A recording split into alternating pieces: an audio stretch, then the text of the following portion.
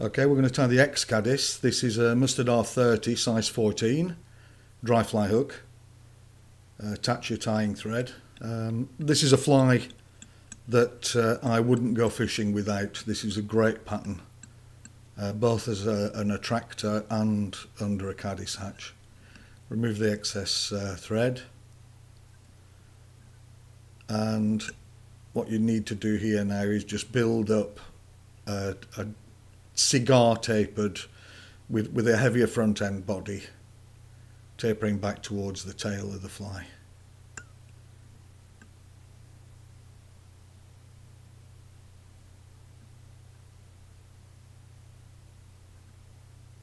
Just backwards and forwards. And this can be fished in uh, in any size from 22 uh, up to size uh, 10. Now a bit of polypropylene yarn, just hook it behind, place it on top of the hook like that, using the weight of the bobbin to hold it in place. Fold it over, and this will help also help you taper your uh, your body of the fly. And wrap this down to the hook shank, back all the way to the tail. There we go. Uh, the original pattern uses uh, uh, for this trailing shuck. It's not really a tail, uh, but uh, polypropylene yarn will do the same trick. Now, forward, and just get that uh, tapered body sorted out. It's a very quick fly to tie, very easy. And you can do it in uh, whatever colour uh, you feel is your best attractor or if you're matching the hatch of small caddis flies. Forward, just spinning my thread there to twist it up again. Now, deer hair, nicely marked points you can see here.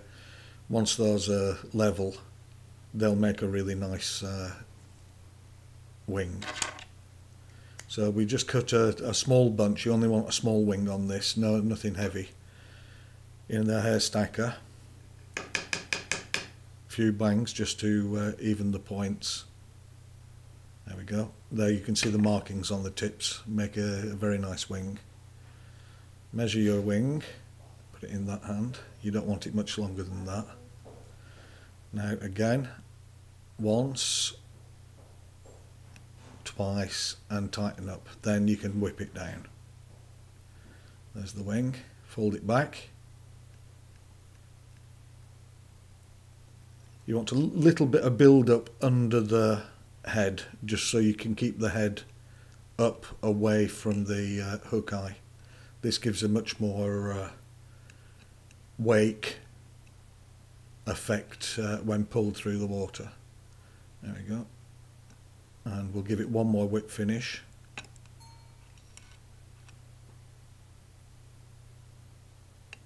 There we are. Now remove your tying thread. Now when removing all that surplus hair at the front to form the head I like to try and get it all in one hand like that. I'll try and illustrate that by turning it on its side keep the wing out of it, and then a very sharp blade.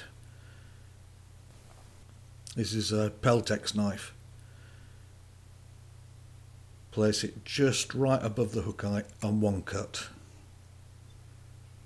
You get a nice tight even head each time.